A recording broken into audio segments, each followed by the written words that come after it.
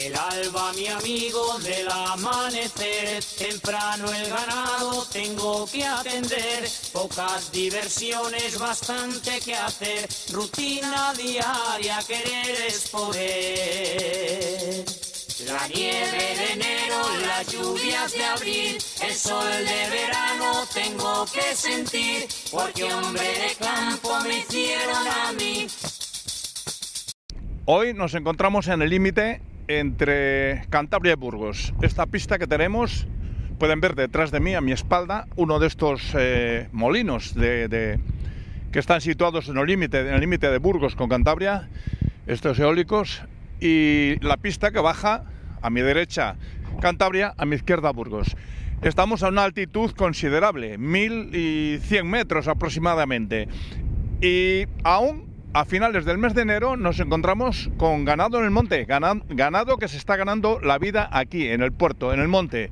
Parece imposible, pero lo hay.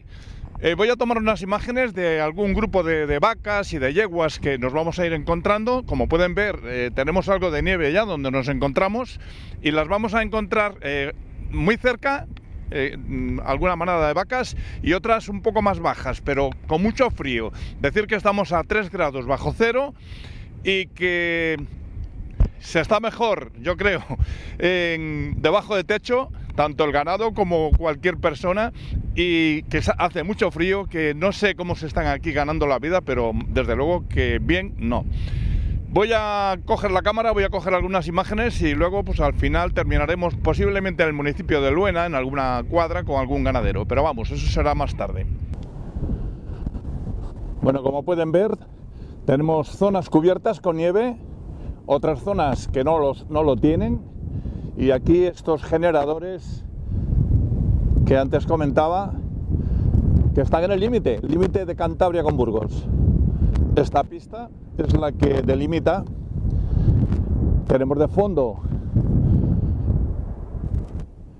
la zona que separa San Pedro del Romeral de la zona burgalesa de Pedrosa de Valdeporres toda la parte alta cubierta de nieve.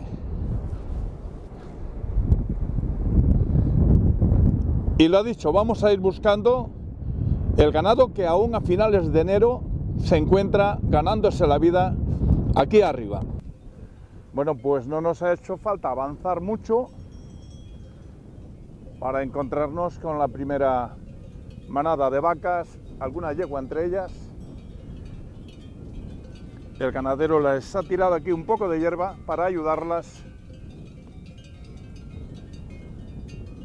Y aquí tenemos ganado mixto, algo de limosín.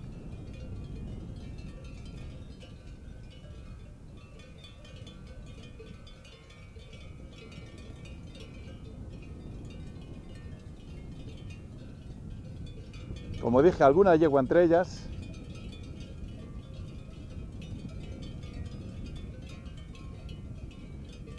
Y ese pelo que echa el ganado cuando hace frío para protegerse de, ello.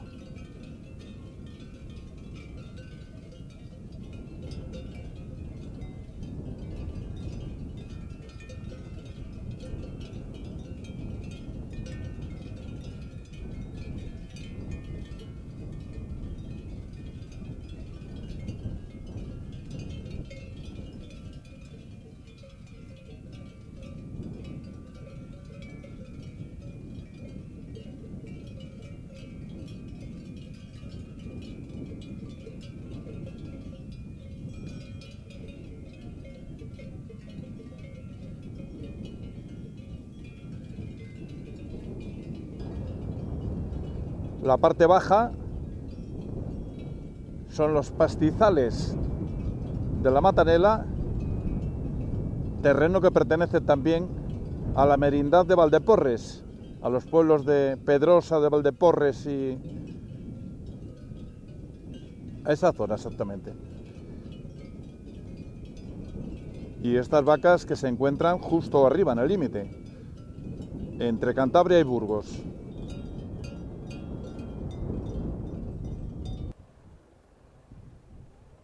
y aquí tenemos el entorno del de terreno donde ellas se encuentran.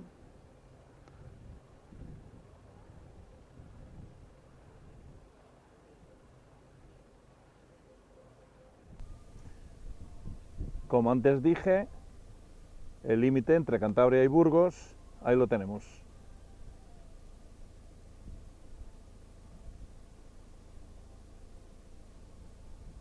En la zona de la Matanela. Y aquí tenemos los pastizales que veíamos antes, que pertenecen a la zona burgalesa de Valdeporres. Y aquí tenemos alguna yegua pero esto ya es más normal verlo en el monte. Ahí tenemos la nieve muy cerca, muy cerca, y ellas aquí en el pastizal.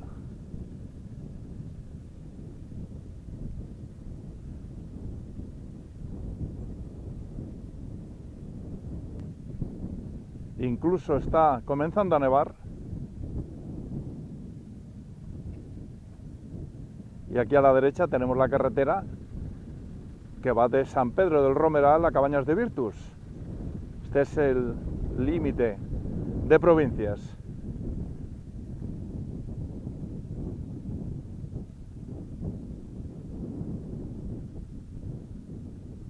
Aquí en estos pastizales donde se encuentran las yeguas nace el río Nela.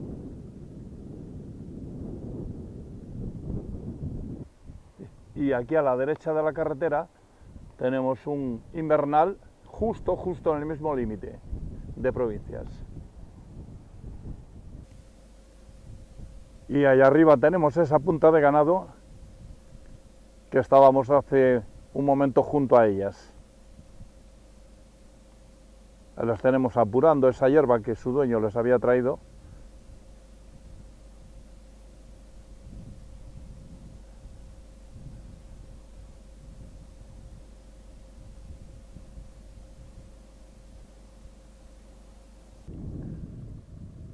Alguna alguna yegua más por los pastizales.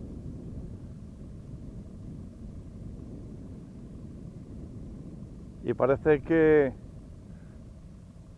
comienza a apretar esa poca nieve que caía antes, ya está cayendo con más fuerza. Ya no se ven estos contadores de kilómetros y aquí tenemos este en la carretera de la Matanela, y arriba de fondo volvemos a encontrar más yeguas.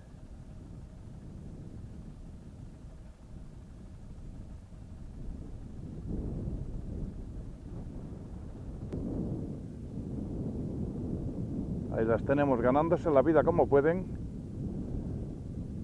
Aquí más cerca de nosotros tenemos alguna más.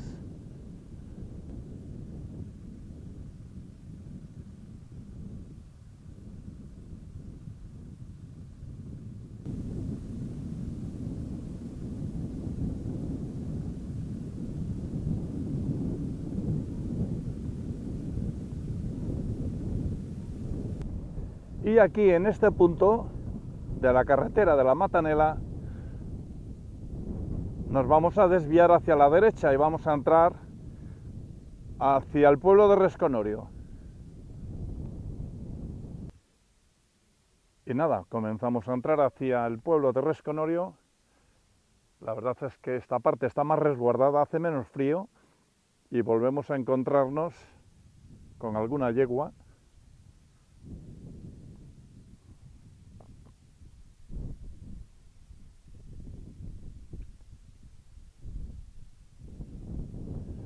Ahí de fondo lo que podemos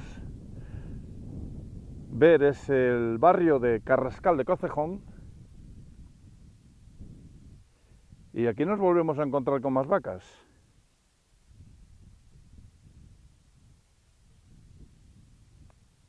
Ahí las tenemos. Vamos a irnos acercando.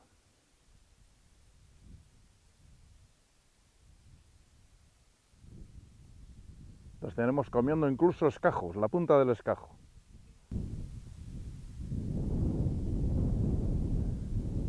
Alguna yegua entre ellas.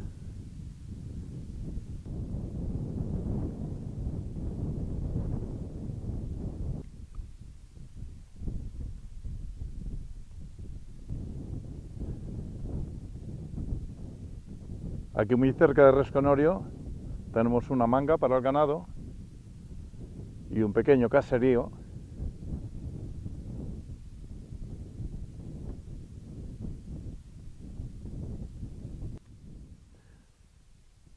y volvemos a encontrarnos con más vacas.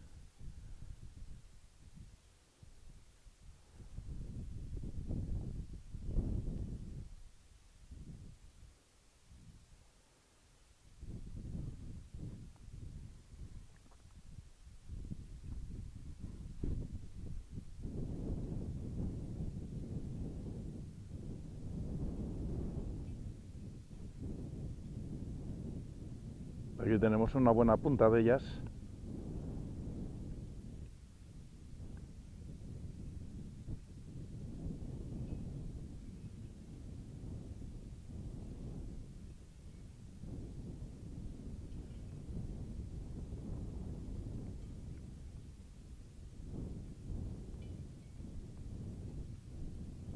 Y con muy poco pasto, muy poco, muy poco.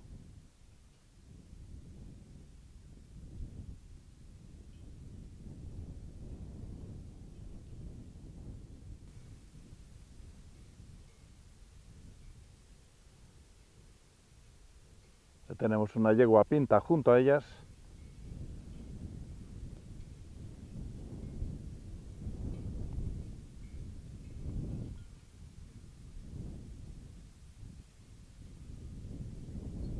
Otra.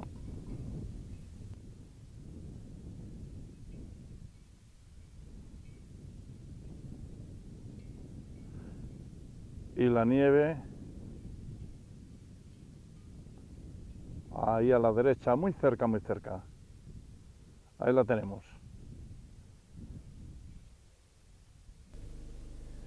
Y ahí tenemos en esa finca que pertenece, como, como antes dije, al barrio de Carrascal de Cocejón, un rebaño de ovejas, apurando este último pasto de finales de otoño, primeros de invierno. Bueno, ya muy metidos en el invierno. Finca que está bastante resguardada.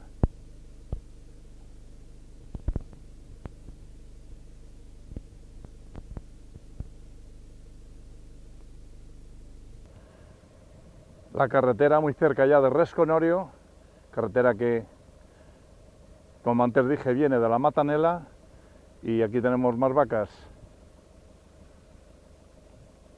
Aquí una ternera jovencilla a la izquierda, con ese pelo que está echando para protegerse del frío.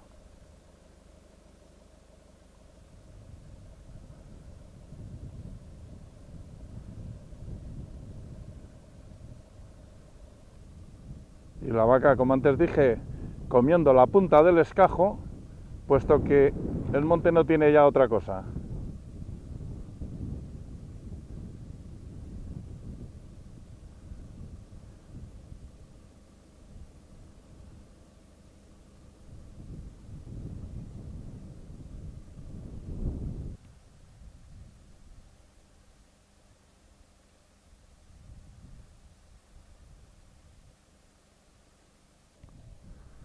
En la parte derecha de la carretera también nos encontramos más vacas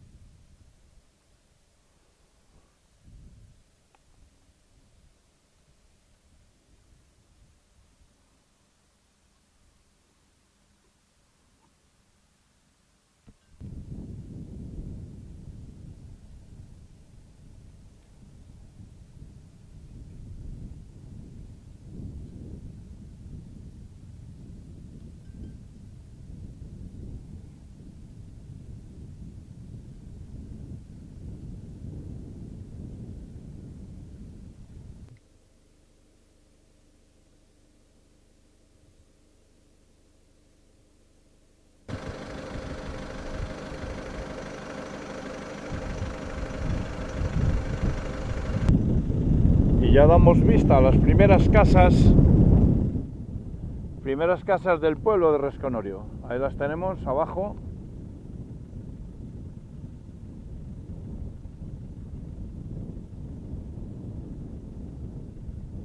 Y arriba muy cerca, muy cerca, la nieve.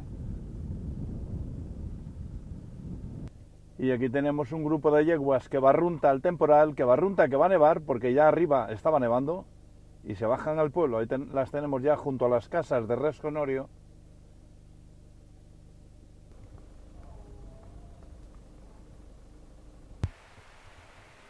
Bueno, pues ya para finalizar con el ganado de monte vamos a coger esta imagen a este grupo de vacas que tenemos aquí en esta finca, finca que está muy alta, muy alta en el monte, limitando con el monte, y vacas que también veo que tienen por ahí restos de hierba, lo cual quiere decir que su dueño las ayuda con algo de hierba.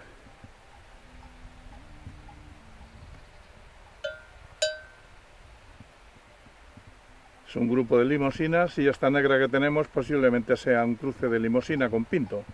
Pero vamos, es algo que opino yo, no estoy seguro de ello.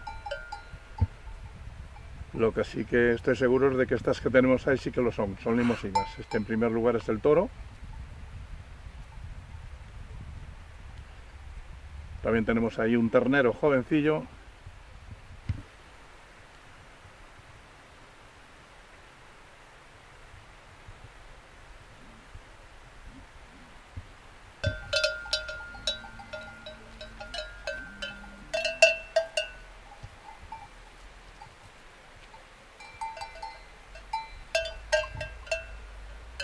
Tenemos como nos observan. Y nada, lo dicho, ya con esta imagen, el resto del reportaje vamos a ver si localizo un ganadero que las tenga ya encuadradas y terminamos con él.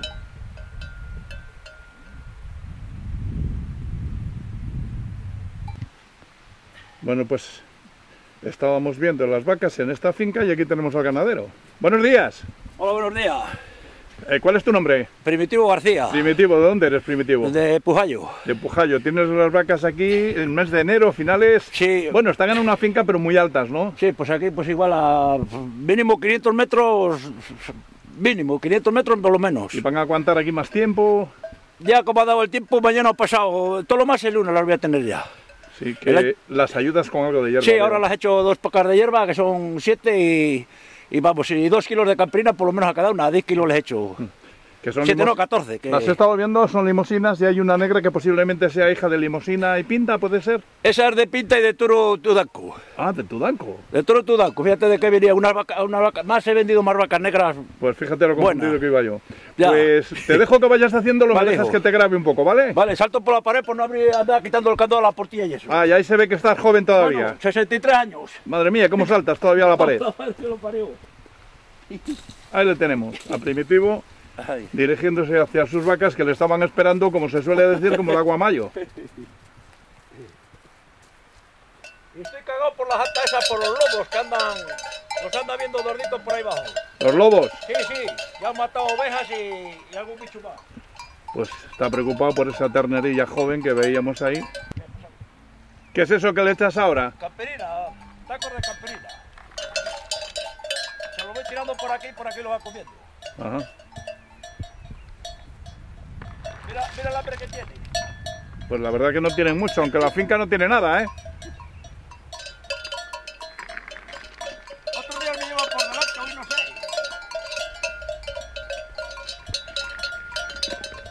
Sí que van a comerlo, pero no con mucha, con mucho apetito.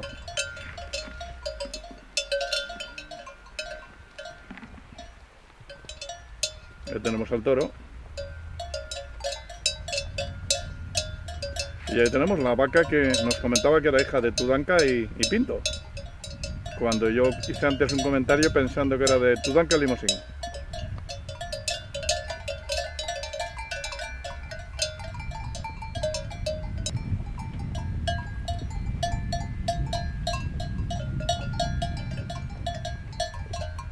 Ahí las tenemos comiendo la camperina, pero como antes dije, sin mucho apetito.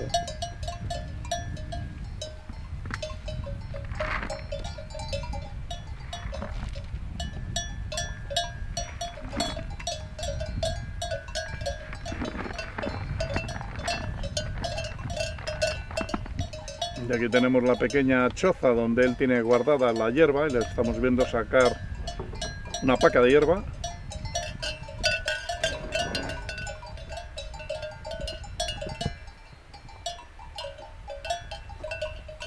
Este prado era de Antonio, del difunto Antonio el Guarda. Claro, claro, por eso es eh, conocido como el Prado Antonio. Eso, esta choza la hizo él. Ajá. Y primero entraba alguna vaca, pero se pegaban y entraban cuatro y los otros no los dejaban entrar y todos fuera. Oye, Primitivo, que las cuidas, ¿eh? Bueno, antes las vi aquí en el Prado, digo, bueno, están pasando frío, pero si vienes todos los días y las das lo que estoy viendo sí. que las das... No, y por la tarde les echo otra para que se entretengan también. Oye, Primi-. Oye, Primitivo, ¿qué tipo de ganadero eres? ¿Eres ganadero mixto que trabajas No. en otro sitio y aquí también? Yo siempre trabajé en collantes hasta que cerraron y después me dediqué por ahí a la vía y a, a la cartera donde encontraba trabajo. ¿Y cuántas vacas tienes? Ahora mismo hay cuatro que tengo abajo y estas. Estas las tenía mi madre, se murió y mis hermanas no querían saber nada y yo por que tenía trabajo que no tenía. Ahora mismo ya me he jubilado con 61 años, pero con todos los pros que tengo, digo, pues ahora todavía que estoy un poco ágil, Oye, y teniendo el monte aquí tan cerca como le tienes, ¿cómo no tienes tu danca, la echas al monte o no te gusta la tudanca? no me gusta. No. No, porque son.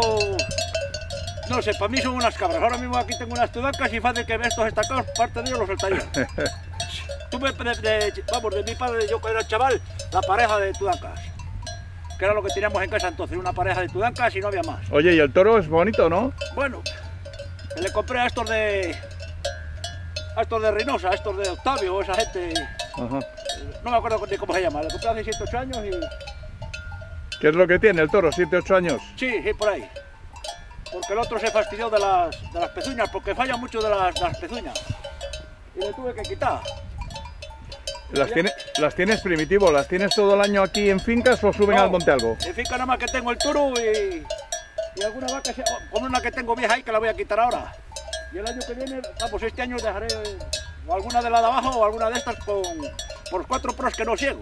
Oye, esta oscura que tenemos aquí, esta del medio, ¿de que este qué cruce tiene esta vaca?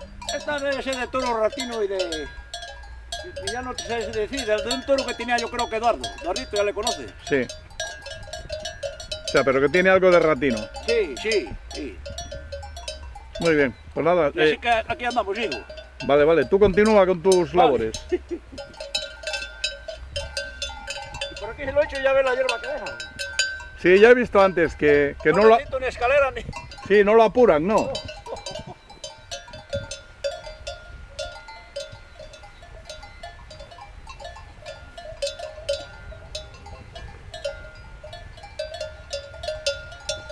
Ahí le tenemos distribuyendo la paca por la finca. Pero nada, parece mentira, pero el ganado con lo que apaña por la finca parece que está lleno. Porque no hacen nada de caso de la hierba. Un poco de la camperina, pero tampoco con muchas ganas.